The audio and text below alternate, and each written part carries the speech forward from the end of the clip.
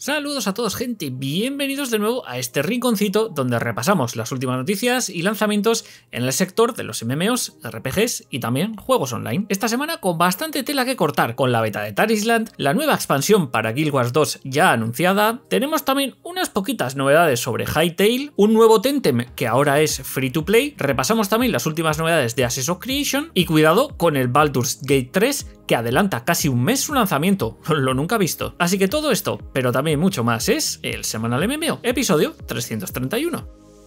Y arrancamos con Tarisland, que esta semana ha sido su beta cerrada, así entre comillas un poquito, porque en teoría te tenían que invitar para poder participar, pero la realidad ha sido que únicamente con que tuvieses el enlace a la descarga del cliente ya te podías registrar desde allí y lo que ha pasado es que incluso gente que podía tener invitación se ha quedado sin poder participar porque ya se le habían adelantado otra gente antes. Y al final los servidores han tenido tanta afluencia que algunos han tenido que cerrar por exceso de población. Por lo demás, creo que este huevo asiático deja unas sensaciones un tanto agridulces, un tanto malas si esperabas que esto fuese pues la llegada de un nuevo WoW totalmente revolucionario que viniese a pisotear las bases del sector, y algo más dulces si no esperabas gran cosa y te ha sorprendido lo que puede conseguir en un MMO para móviles. En resumen, es un poco lo que nos tiene acostumbrados el mercado asiático, nada que no hayamos visto hasta ahora, pero en general pues bastante bien hecho y se siente bastante bien, sobre todo para ser eso, un MMO para móviles y free to play. No tenemos muchos de esos hoy en día y que estén lo suficientemente bien como para dedicarles unas cuantas horas, así que seguramente en su lanzamiento pues tendrá su público. Pero por lo demás el sector lleva muchos años estancado y seguimos esperando esos MMOs de nueva generación que empujen el sector un paso más allá y que nos demuestren lo que una nueva generación de IAs, de gráficos y de dispositivos pueden conseguir, no el mismo MMO que llevamos los últimos 15 años jugando. No sé vosotros si lo habéis probado, qué os ha parecido, cuáles han sido vuestras sensaciones tras estos primeros días.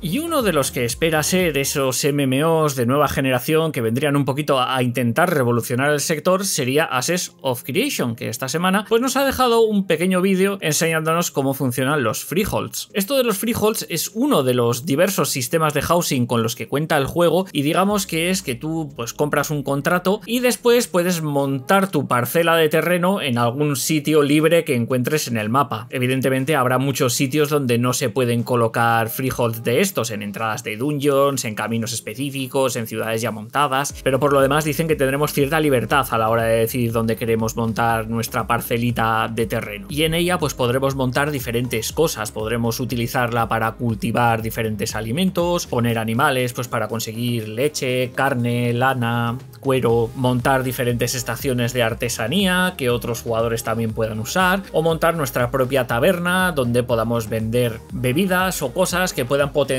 pues habilidades de recolección que vengan bien a los viajeros que pasen por esta zona. En fin, dicen que tienen muchas ideas y que van a hacer pues un buen surtido de cosas que podamos colocar en estas parcelas y que como digo es únicamente uno de los tipos de housing con los que contará el juego. El resto son los apartamentos instanciados y luego las casas propiamente dichas dentro de la ciudad. Es la primera vez que vemos este sistema de parcelas desde que se anunció al principio del todo en el desarrollo del juego y aunque nos hubiera gustado ver pues cómo se colocaban las cosas, cómo se colocaban los edificios, las cosechas, animales y demás, pues al menos hemos podido ver que ya lo empiezan a tener un poquito más implementado dentro del juego y lo quieren, o al menos parece que lo quieren tener listo para la próxima Alpha 2, que no será este año, sino el que viene. Y esta semana Guild Wars 2 nos presentó la fecha de lanzamiento y los primeros detalles sobre su nueva expansión, Guild Wars 2 Secrets of Obscure. Esta actualización tiene previsto lanzarse este próximo 22 de agosto y ya están disponibles las diferentes opciones de precompra para esta expansión. Contará con el primer arco de la nueva y épica historia y vendrá con dos mapas nuevos, los cuales permitirán a los jugadores explorar los cielos con nuevas formas de adquirir la montura voladora y probar muchas nuevas funciones jugables. Incluidas dicen que muchas opciones en la forma de combatir y muchos personajes van a recibir nuevas armas con las que combatir lo que cambiará mucho. La del juego. Cada tres meses aproximadamente se lanzarán grandes actualizaciones que continuarán con la experiencia en nuevos capítulos de la historia y mapa y un mapa nuevo. Vendrán también con nuevas funciones y nuevos contenidos. La actualización la verdad que tiene una pinta muy chula y seguro que anima a muchos jugadores a volver al juego y darle buena caña. Aunque siempre me pregunto qué hubiera sido de Guild Wars 2 sin esos 5 años que se tiraron sin sacar nuevas expansiones, si hubieran seguido sacando contenido a este ritmo que llevan ahora. Y estos pasados días hemos tenido rollitos sobre Diablo 4. Hemos tenido varios temitas. Por un lado, parece que han estado sufriendo ataques de dos la semana anterior y sobre todo ah, hubo unos días donde los servidores de Diablo iban y todo Battle.net en general funcionaban como el culo. Parece que poco a poco la solución se fue arreglando y ya iba mejor la cosa. Por otro lado, tenemos nuevo directo con los desarrolladores el próximo 6 de julio, en el que en teoría nos van a contar cuándo sale la nueva temporada y qué contenidos va a tener. Así que si tenéis pensado seguir jugando a Diablo, muy atentos al día 6. Y por otro lado, en los últimos días hemos tenido algo de polémica eh, cuando los desarrolladores confirmaron que habría que crearse un nuevo personaje para jugar las temporadas y poder progresar en el pase de temporada. Algo que parece que no estaba 100% claro y que ha pillado por sorpresa a muchos jugadores. Por mi parte, no tengo que decir que haya sido que algo que realmente me preocupase y pensando que ya iría a crearme un nuevo personaje para la nueva temporada, pues no es algo que realmente hubiera pensado. Pero es verdad que podía haber gente que no quería empezar su nuevo personaje, no quería experimentar las mecánicas de la nueva temporada, pero aún así quisiesen progresar en el pase de batalla y esa gente pues no lo va a poder hacer. Y hemos vuelto al gran debate de si temporadas sí o temporadas no, o si es mejor guardar el progreso o empezar frescos en cada temporada. Ahora mismo los personajes que se jueguen en el reino eterno, donde estarán siempre, pero si al principio de cada temporada queremos disfrutar disfrutar de las cosas nuevas que traiga esa season y al parecer también del pase de batalla, ahora sabemos que tendremos que empezar un personaje nuevo. Entiendo que habrá mucha gente nueva en los Action RPGs que este estilo de progreso les pille de nuevas, aunque los más veteranos pues seguramente ya lo tendrían como algo asumido. Por mi parte, no veo como algo bueno ni algo malo, simplemente este tipo de juegos están diseñados para ser así y te pueden gustar más o te pueden gustar menos. Lo cierto es que como todo en este mundo pues seguramente no es pero aún así pues tiene elementos a favor y elementos en contra, como por ejemplo pues la idea de no quedarte rezagados si todos empiezan desde cero al comienzo de cada temporada y no tienes tanto esa sensación que pasa en muchos MMORPGs de ya llego tarde y la gente lo tendrá todo y ahora me va a ser imposible ponerme al día. Y que los comienzos siempre son de los mejores momentos de este tipo de juegos online. Fíjate que hasta muchos MMORPGs veteranos que siempre fueron de la punta de lanza del sistema de progresión, persistente donde tu progreso se guardaba años y años, también se dieron cuenta de que uno de los mejores momentos pues eran estos inicios. Y hemos visto que la forma de atraer a muchos jugadores a viejos MMOs ha sido pues crear servidores desde cero, eh, crear servidores classic y momentos donde todo el mundo volviese a empezar fresco. De todas formas aún no está 100% claro todo lo que guardaremos en cada temporada de una a otra, ya sabemos que la misión principal no la tendremos que volver a completar si ya la hemos completado una vez, pero ahora parece que los devs han decidido que el mapa también pueda estar descubierto sin niebla de guerra. Eso sí, de momento el tema de las temporadas no lo van a quitar, pero si se hacen bien y entretenido y se crea una experiencia suficientemente fresca como dije antes, no tiene por qué ser algo malo. El día 6 veremos lo que nos tienen preparados y si ver esto de las temporadas con esperanza. Y uno que ha llamado la atención bastante esta semana ha sido la presentación oficial de Project Loki, un nuevo juego PvP competitivo desarrollado por antiguos miembros del equipo de Riot, Blizzard y EA. Como ellos mismos lo califican, es una especie de cruce entre League of Legends por aquello de los diferentes héroes con diferentes habilidades que subirse y diferentes objetos, con Apex Legends por aquello de ser una especie de shooter frenético, Battle Royale con un círculo que se va cerrando, y es más por aquello de lanzarse por el aire, tirar a la gente fuera del mapa, los mapas así como muy abiertos y demás. Han tenido un playtest recientemente, pero en su web os podéis apuntar para participar en los siguientes. La verdad que se ve bastante frenético, no pinta nada mal para la etapa temprana en la que debe de estar su desarrollo, que aún no tiene ni nombre oficial, y desde luego que le seguiremos por aquí la pista pero uno que se ha lanzado ya y está recibiendo bastante buenas reviews es Harry Potter La magia emerge. Este es un MMO free to play para dispositivos móviles que se puede descargar ya desde las stores de iOS y de Android y que es una mezcla así de open world con un combate como de cartas, rollito también mezcla con Clash Royale y cosas así. Está ambientado solo unos pocos años después de los eventos sucedidos en las películas y los libros de Harry Potter como Hagrid o la directora McGonagall. Visualmente sin ser nada revolucionario el estilo artístico así dibujado y demás está también bastante bonito. Así que bueno, si tenéis algo ahí o tenéis un huequito en vuestro móvil, ahí podéis descartároslo. Y lo que sí que nos ha pillado por total sorpresa ha sido esta semana el anuncio de Larian Games que adelantaban el lanzamiento de Baldur's Gate 3 nada menos que casi cuatro semanas. Se lanzaba el 31 de agosto y ahora se lanza el 3 de agosto para PC. Eso sí, por desgracia los jugadores de PlayStation 5 tendrán que esperar un poquito más y se lanza en Play 5 el 6 de septiembre. Los desarrolladores también han querido compartir unos pocos números de este RPG que es que son de infarto. Un guion con más de 2 millones de palabras el triple que todos los libros del Señor de los Anillos, más de 170 horas de cinemáticas, con 7 protagonistas jugables que nos pueden acompañar, 11 razas y 31 subrazas entre las que elegir, con nada menos que 12 clases y 46 subclases, con 600 hechizos y acciones entre todas. No me extraña que digan que es su proyecto más grande y ambicioso hasta la fecha, es que no tiene ni punto de comparación, sus anteriores juegos ya eran buenos y este únicamente con que hayan mantenido aquella esencia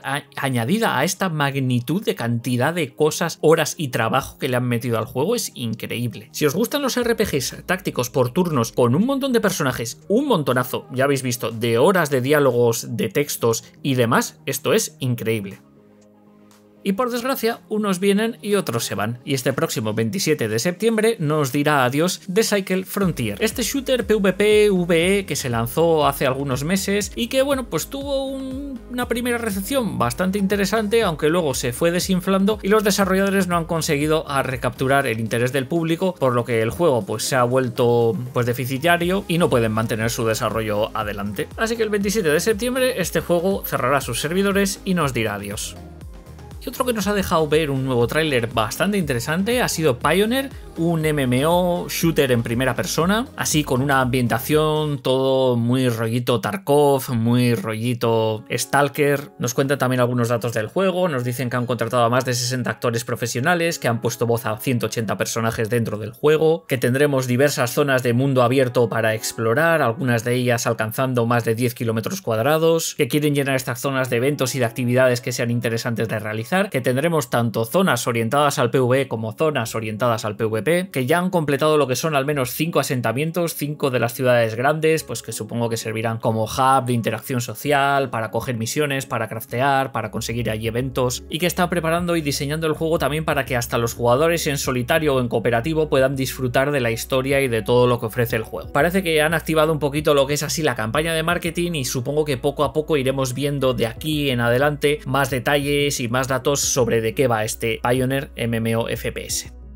Y el equipo de Hytale ya sabéis esta esperadísima aventura muy inspirada en Minecraft y que llevamos siguiendo ya una buena friolera de años, súper interesante. Los compró Riot y desde entonces pues el estudio ha crecido un montón, siguen trabajando en el juego, cambiaron el motor gráfico y ahora casi un año después desde su última gran actualización o su último gran post de noticias nos vuelven a dar un poquito una, un anticipo de cómo va el juego. Pero vamos, que en resumen dicen que el equipo ha crecido, que siguen trabajando muy bien en el juego, que en estos últimos meses han realizado grandes avances, pero vamos, que de fechas de lanzamiento, de betas, de todas esas cosas que seguramente queréis saber, nada de nada. Así que vamos, es más un post de esos de decir, oye, el proyecto sigue vivo, seguimos aquí, seguimos trabajando muy bien, esto sigue adelante a tope, pero vamos, que de momento nada de nada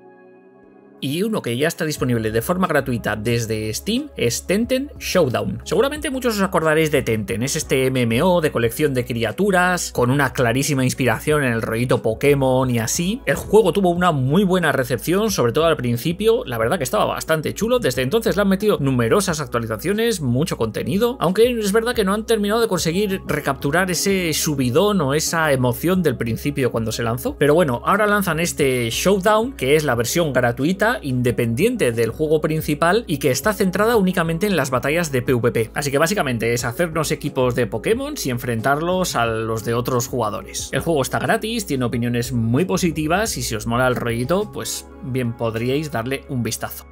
Y os recuerdo que también hasta el día 13 están ya disponibles las rebajas de verano de Steam. Ya sabéis, siempre es buen momento para hacerse con alguna rebajita más que curiosa. Mis recomendaciones pues irían desde clásicos del canal como Remnant o Deep Rock Galactic, el shooter roguelike Gunfire Reborn o el Dragon Ball Z que está muy rebajado, o la sensación del momento que parece el Dive de Diver, un juego de Nexon que no parece ni de ellos, por el día un intrépido burzo cazando todo tipo de criaturas y por la noche chef de sushi, o siempre es buen momento para hacerse con un teso por 5 euretes en su edición básica, con increíble cantidad de contenido, desde hace poco está en español, ahora acaban de sacar la última gran expansión, o un Valheim por 11 euros también tirado de precio. En fin, dejadme un comentario con cuáles serían vuestras recomendaciones y cuáles recomendáis a la gente que se tiene que comprar sí o sí.